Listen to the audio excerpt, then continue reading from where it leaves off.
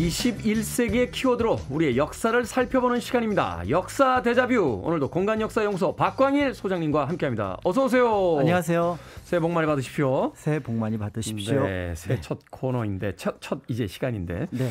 얼마 전에 종영한 인기 드라마 덕분에 이 정조와 씨의 절절한 사랑 주목을 받고 있다는데요. 이 정조가 손수 묘비명을 짓고 제문을 썼을 정도다 하는 이야기. 저도 참 신선하게 이제 다가왔습니다. 네. 그래서 오늘은 특별히 이제 왕들의 사랑 이야기를 좀 여쭤볼까 합니다. 왕들도 사랑을 했습니까? 사랑을 했죠. 어, 음. 했는데 어 조금 이제 복잡하죠. 복잡합니까? 네. 왜냐하면 이제 그 왕의 사랑은 단순하게 한 여성과의 관계로 끝나는 것이 아니라 그렇죠. 후사가 결정된다는 점에서 아. 그런 점에서 굉장히 이제 공적인 영역이기도 합니다. 이게 그냥 두 사람의 어떤 순수한 사랑에서 끝나는 게 아니라 이제 사랑을 나누다가 후사 그러니까 이제 후계자의 어떤 구도까지도 영향을 줄 수 있기 때문에 그렇죠. 그러니까 드라마에서 등장했던 의빈성 씨의 아들이 일찍 죽긴 하지만 처음에 문효세자였거든요. 네. 그러니까 그냥 그대로 자랐으면은 사실은 그 자리가 이제 순조의 자리가 됐을 거라고 본다면 그런 면에서 볼 때 이제 왕의 사랑이라고 하는 것은 공적 영역과 그리고 이제 사적 영역이 있을 것 같고요. 음. 또 한편으로 여태까지는 이제 왕의 관점에서 봤다면 이제 이번 드라마의 아마 특징이 이제 좀 여성의 관점에서 왕을 좀 바라본다는 점에서 네. 그런 면에서 이제 시선을 조금 이제 돌려서 좀 흥미롭지 않았을까라는 생각이 드는데요. 그렇기 때문에 한편으로는 그 왕의 사랑을 받는 여성에게 이 사랑이라는 게 단순한 감정으로 끝나는 것이 아니라 굉장한 압박으로 다가왔을 가능성이 있고 아. 때에 따라서는 그것이 그 여성에게 불행으로 다가올 수도 있는 도구로 다가올 수도 있다. 그런 부분들도 있는 것 같습니다. 사랑이 사랑에서 끝나지 않고 어떤 정치적인 어떤 그 상황으로 이제 그 내몰리게 되는 그렇죠, 그렇죠. 그래서 이제 그런 얘기들을 아... 좀몇 가지 준비를 했습니다. 저는 다시 태어나도 왕으로는 태어나고 싶지 않네요. 첫 번째 주인공은 누굽니까? 네, 첫 번째 주인공이 이제 상대가 되겠죠. 바로 공민왕과 관련된 얘기를 먼저 꺼내야 될 것 같은데요. 공민왕. 네. 고려 마을 같은 경우는 굉장히 왕위가 어쨌든 복잡합니다. 그래서 이제 공민왕만 하더라도 아버지는 이제 충수광이고 그 다음에 형은 충해왕이고 조카는 어, 충모광, 충정왕 이렇게 되니까 음. 주변은 다 이제 왕이 됐고 자신만 이제 왕이 못 된 그런 상황이었는데요. 네. 이럴 때 이제 일종의 정략 결혼으로 이제 그 몽골의 왕족 중에 한 명이었던 이제 노국 대장 공주랑 혼인을 하게 됩니다. 네. 그래서 정략 결혼이긴 했지만 이 둘 사이가 이제 굉장히 좋았고요.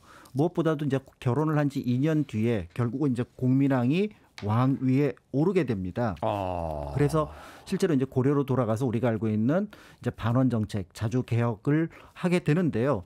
사실은 여기에 굉장히 큰 도움을 줬던 게 바로 부인이었던 노국 대장 공주죠. 노국 대장 공주. 예, 그래서 실제로 말을 굉장히 이제 몽골 여인들이 잘 타는데 국민왕한테 말 타는 것도 가르쳐 줘서 피란을 갈 때 도움이 되기도 했고요. 몽골 사람들은 뭐 태어나면서부터 말 탄다는 이야기도 있던데. 그렇습니다. 네. 그다음에 이제 또 하나가 어 예를 들어 이제 그 반란군이 흥왕사의 왕의 어떤 행차를 공격한 적이 있었는데 네. 이때 이제 남편이었던 국민왕은 방 안으로 들여보내고 자기가 문 밖에 섭니다.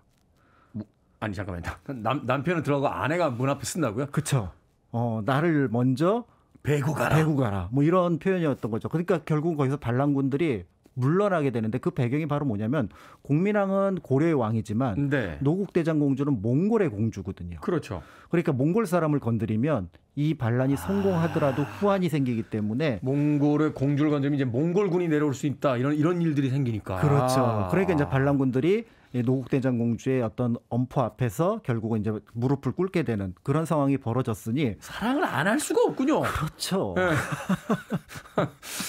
어. 근데 이렇게 사랑하던 공주였는데 이제 부인이었는데 어, 국민왕 14년에 열, 널리 알려진 것처럼 이제 아이를 낳다가 죽음을 맞이하게 됩니다. 아. 그래서 이때 이제 국민왕은 크게 이제 시름에 빠지게 되고요. 그래서 이제 고려 역사상 가장 아름답다고 하는 국민왕 내외의 무덤이 이제 이때 만들어지게 되는데 자신이 묻힐 공간을 이제 미리 만듭니다. 그래서 네. 내가 죽으면 나는 노국대장 공주 옆에 묻히겠다.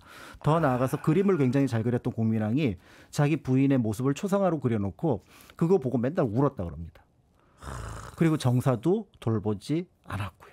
아내가 가장 사랑했던 여인 아내가 이제 떠나갔으니까. 그렇죠, 그렇죠. 그럼 이제 공민왕이 유일하게 사랑했던 여자가 바로 이 노국대장 공주입니까? 그래서 노국대장 공주 얘기를 오늘 해야 될 것 같은데 네. 이 얘기는 널리 알려져 있는데요. 네. 그래서 그거 말고 다른 얘기를 하나 더 하려고 합니다. 잠깐만 또 있어요. 아, 이 노국대장 공주는 사실은 이제 아이를 낳다가 희생이 됐, 그러니까 어, 생을 막아냈지만 사실은 비극적이라고 보기엔 좀 곤란하잖아요. 그렇죠. 사고라고 봐야죠. 그렇죠. 일종의 예, 사고라고 예, 봐야 되는 예. 부분들이 있는데 이때 어, 공민왕이 또 한 명 어떻게 보면 눈을 두었 주었던 여자가 있습니다. 이게 중요합니다. 이게 노국 대장 공주가 있을 때인지 아니면 떠난 뒤인지 이게 이게 여성 우리 저 분들에게 굉장히 중요한 그렇죠. 이때 이제 그 이른바 개혁 정치를 하게 되면서 기존에 이제 권문세족들과 거리를 두게 되는데 이때 네. 이제 등용했던 인물이 바로 어 신돈입니다. 신돈. 근데 그 신돈의 시녀 중에서 반야라고 하는 여성이 있었는데 굉장히 아름다웠다고 하죠. 네. 그런데 이때 이제 신돈을 이제 신돈이 그 고민하게 뭐라고 얘기를 하냐면 지금 임금께서 아무리 왕비를 사랑하신다고는 하지만 아이가 없으니 반야를 옆에 두시면 어떻겠습니까? 이렇게 제안을 했던 겁니다. 안 좋은데 이거 분위기. 네. 그리고 그런데요. 어 그리고 이제 더 나아가서 이제 국민왕과 반야가 동침을 한 다음에 이제 아이를 이제 임신을 하게 되는데요. 네. 이때가 이제 노국대장 공주도 임신을 한 상황이었습니다. 아 이제 그 정처인 그 노국 대장 공주 아이가 있고 그 다음에 이제 반야도 반야도 임신을 하고 임신한 상태고. 그리고 이제 먼저 노국대장 공주가 아이를 낳다가 아까 말씀드렸던 것처럼 세상을 떠나고. 예, 세상을 떠나게 된 거죠. 그러니까 이제 이 국민왕의 마음이 굉장히 복잡했을 것 같아요. 야, 그 정말 일종의 뭐 죄의식부터 시작해서 여러 그렇죠. 가지 여러 가지 생각이 들었겠네요. 그래서 이제 아까 그 그림을 그려놓고 이제 계속 술 마시면서 어떻게 보면 이제 정사를 돌보지 않았던 후회라고 하는 것들이 어떤 작가분이 표현할 때는 그거는 이 반야에 대한 것들을 염두에 둔 미안함의 표현일 수도 있겠다. 음. 이렇게 이제 주장을 하기도 하는데요. 네. 어쨌든 반야는 아이를 무사히 낳습니다. 네. 어 그리고 나서 그 아이가 낳았는데 문제는 이 반야가 이제 신분이 계속 미천하고 또 신동과의 관계가 있으니까 이제 궁궐 안에서 이 반야가 낳은 아이를 당시 이제 궁, 궁궐 안에 있었던 또 다른 궁녀였던 한 씨의 소생으로 약간 바꿔서 음. 발표를 합니다. 네. 그래서 지금 아이가 태어났는데 왕의 아이가 태어났는데 그 부인은 한 씨다 이렇게 얘기를 했던 거죠. 그리고 이제 그 아들에게 나중에 이제 처음에는 모니노라는 이름을 주었지만 나중에 이제 우라는 그다음에 이제 강릉군이라는 군호를 내리게 되는데요. 이 사람이 이제 우리가 알고 있는 바로 우왕입니다. 우왕이 되는군요. 네. 근데 이건 문제 안 됩니까? 자신의 엄마를 이제 바꿔서 이렇게 발표를 한 건데 이 우왕이 나중에 왕에 오르게 되잖아요. 그렇죠. 그러니까 이게 당시에도 약간의 이제 논란이 있었던 것 같아요. 그래서 유가 너무 신분이 낮고 그 다음에 궁인 한 씨의 소생으로 속였던 이유는 이 반야의 신분이 너무 낮았기 때문이다. 이렇게 이제 얘기를 하게 되는데요. 네. 결국은 이것 때문에 가장 먼저 피해를 본 사람은 바로 반야입니다. 반야. 그렇죠. 왜냐하면 나중에 이제 국민왕이 죽고 난 다음에 우가 왕에 오르거든요. 그리고 나서 이제 반야가 그 소식을 듣습니다. 궁궐 밖으로 쫓겨나 있었는데 네. 내가 생모다. 음. 그랬더니 이제 궁궐에 있던 관리들이 그- 이 사람을 잡습니다. 반야를 잡아다가 그걸 태우한테 얘기를 하죠. 근데 태우는 이거를 알릴 수가 없거든요. 그렇죠. 이미 그렇게 발표를 한 상황이니까. 또 혼란이 오니까. 그래서 결국은 이 반야를 자루에 담아서 임진강에 아이고야. 던져 버리는 그래서 비극을 맞게 되는 인물이 됩니다. 공민왕이 잘못했네요. 공민왕이 다 잘못했네 보니까. 근데 이제 이게 여기에서 끝난 게 아니에요. 어, 사실은 이게 이제 역사 문제로 등장을 하게 됩니다. 음. 어, 왜냐하면은 이제 우리가 알고 있는 이 우왕의 계보를 고려사에서 어떻게 평가를 하냐면 이 고려사의 왕의 계보가 쭉 갑니다. 그래서 이제 뭐 이제 아까 말씀드렸던 충정왕, 충무왕 이렇게 공민왕 가다가 그 다음에 공양왕으로 건너뛰어요. 네. 우왕, 청왕이 없습니다. 아 공식 기록에 네, 고려사 기록에. 공식 계보에서 빼버린 겁니까? 그렇죠. 그래서 그 아. 우왕, 청왕이 어디 갔는지를 봤더니 이제 여러 사람들의 뭐 신하들 관련된 얘기를 적는 열전에 들어가 있는 거예요. 임금의 역사를 다루는 책에 있는 게 아니라 신하들이라든지 평민을 다루고 있는 열전에 가 있다. 예, 그 챕터에 들어가 있고 거기에 심지어는 반영 열전에 들어가 있고요. 그리고 더 놀라운 것은 이 사람이 왕우 왕창이 아니라 신우 신창이다. 음. 신돈의 아이다. 신돈의 그러니까 아이다. 신돈이 이미 아이를 뵌 상태에서 공민왕에게 동침을, 하도록 시켰다. 한 거다라고 얘기를 하게 됐던 거고요. 사실은 이제 이러한 내력을 염두에 두고 이제 이거는 사실은 조작됐을 가능성이 있습니다. 그래서 이미 이제 공민왕이 죽었을 때 이색이 묘비를 지을 때 우왕 덕분에 왕위가 든든해졌다. 라고 얘기를 하고 음. 이미 또 우나 이 우라는 이름을 내리고 강농군이라는 군호를 국민왕이 살아 내렸기 때문에 자신의 아이라는 것들을 명확하게 알고 있었을 걸로 보여지는데요. 네. 그래서 결국은 이 바냐라는 여인은 살아서는 그러니까 고려 시대에는 죽임을 당했고 그다음에 조선 시대에는 그 어떻게 보면 부정한 여인으로 음. 평가받았다는 점에서 비극의- 사랑은 조금은 비극적이었다 이렇게 비극의. 인물이네요. 자, 또 다른 왕의 이야기 하나 더 들려주신다면요. 네, 어, 왕과 이제 사랑을 나눴지만 그 사랑이 또 비극이 됐던 인물인데요. 네. 바로 단종의 왕비였던 정순왕후 송씨. 정순황후 송씨. 네. 왜 비극이 된 겁니까? 어, 짐작하시겠지만 단종이 17살의 어린 나이로 생을 마감을 하는데요. 네. 그 짧은 생을 같이 하게 됩니다. 음. 무엇보다도 이제 단종과 혼인을 한 게 이제 그 1454년인데요. 이 1454년이 이미 1년 전에 세조가 개유정난을 일으킨 때입니다. 음, 아, 그렇군요. 그러니까 자신이 왕비가 돼서 개유정난이 일어났으면 그래도 그걸 운명으로 받아들일 텐데 네. 이미 개유정난을 일으키고 정권을 잡은 수양이 어, 왕이 혼인을 해야지요라고 얘기를 했던 거고요. 이정재 씨가 그렇죠. 얼굴에 칼자국 탁 있어요. 예. 결혼은 하셔야지요. 그렇죠. 조카님께서 뭐 이런 식으로 했던 거였고 그러니까 어 결국은 이제 신분이 낮은 그러니까 외척으로서 힘이 없었던 관료의 따님으로서 정순왕후 송씨가 혼인을 하게 되고요. 네. 아니나 다를까 이제 널리 알려진 것처럼 사육신의 난으로 이제 보면은 이제 그 상황으로 쭉 올라가게 됩니다. 음. 근데 그 상황으로 올라가서 역설적으로 조선 역사상 가장 젊은 대비가 됩니다.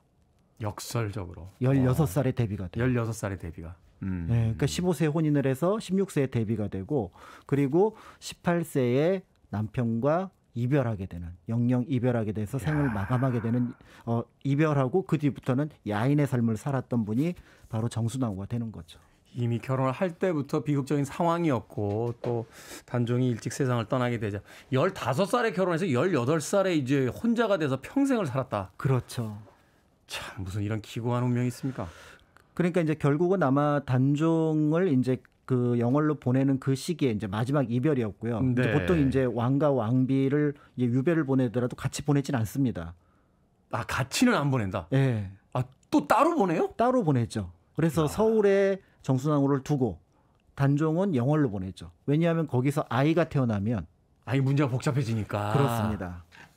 야 이건 해도 너무한다 진짜. 예. 그래서 이제 결국은 그때 이제 헤어졌던 것이기 때문에 실제로 지금 창신동 일대에서 이제 헤어졌을 걸로 보여지고요. 거기가 네. 이제 한양 도성의 끄트머리였으니까 네. 그래서 이제 거기 조그마한 다리가 하나 있는데 사람들이 이제 거기다 영도다리, 영영 이별하는 다리라는 이름을 붙여 놓았고요. 네. 어, 이야기에 따르면은 이제 정순왕후는 영어를 동쪽이니까 동쪽을 바라보는 동망봉이라고 하는 거기서 어, 왕을 기, 어, 기다렸고 그 다음에 이제 영월로 갔던 단종은 이제 망향봉이라고 그래서 서울을 바라보는 쪽에 음. 또 이제 항상 눈물을 머금었다고 하는데요.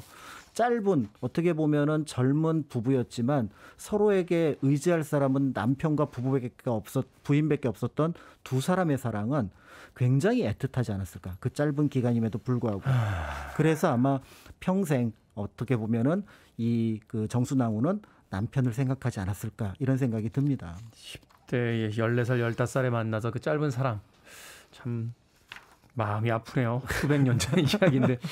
정순왕후는 이 어떤 삶을 살았습니까? 짧게 정리 좀 어, 해주시죠. 뜻밖에도 굉장히 오래 사셨어요. 82살까지 살게 됩니다. 근데 이제 세조가 주는 녹을 먹지 않겠다고 하니까 음. 이제 동네 여인들이 너무 불쌍했던 거죠. 그래서 이제 조그맣게 시장을 만들어서 그 시장에서 나는 부산물로 이제 생을 이어갈수록 해서 그 시장은 특별하게 여인들만 모였다 그럽니다. 여인들만 모이는 여인 네, 시장. 그래서 이제 그 창신동 일대에 여인 시장이라는 것이 있었다고 하고요. 무엇보다도 이제 처음에는 노상군이었다가 나중에 숙종 때 이들을 이제 단종과 정순왕으로 복권을 해주고요. 네. 그 무덤을 이제 영조 때 만들게 됩니다. 그리고 음. 나서 이제 왕의 참배가 이어지게 되는데 숙종, 영조, 순조가 이제 그 정순왕후의 그 능이 사릉이거든요. 네. 남양주에 거기 갈 때 비가 내렸대요. 비가 내렸다. 근데 이 비가 예전에 이제 중국에서도 그런 예가 있어서 이게 원한을 씻어주는 비다. 아. 이제는 이제 후대 왕들이 인정을 해줬으니 그래도 그 원한의 일부가 풀렸다라고 얘기를 했고요. 무엇보다도 이제 사람들이 안타까워하는 게 보통 왕과 왕비의 릉은 붙어 있거든요. 그렇죠. 근데 이게 굉장히 떨어져 있으니까 이제 남양주 분들이 생각을 합니다. 저 둘을 어떻게 연결해 줄까? 그러다가 사릉에 있는 나무 한 그루를 단종 무덤 옆에다가 옮겨놨습니다. 그래서 나무를 통해서라도 두 부부의 인연이 연결이 연결이. 되도록. 그래서 가장 귀한 인연이 어, 왕에게는 어떨지 모르지만 보통 사람에게는 부부의 인연이 아닐까 이런 생각을 해봅니다. 그렇군요. 다시 한번 다음 생에선 꼭 왕으로 태어나지 말아야겠다는 생각을 해봤습니다. 역사 대자뷰 오늘은 역사 속 왕들의 특별한 사랑 이야기 공간 역사연구소 박광일 소장님과 함께했습니다. 고맙습니다. 감사합니다.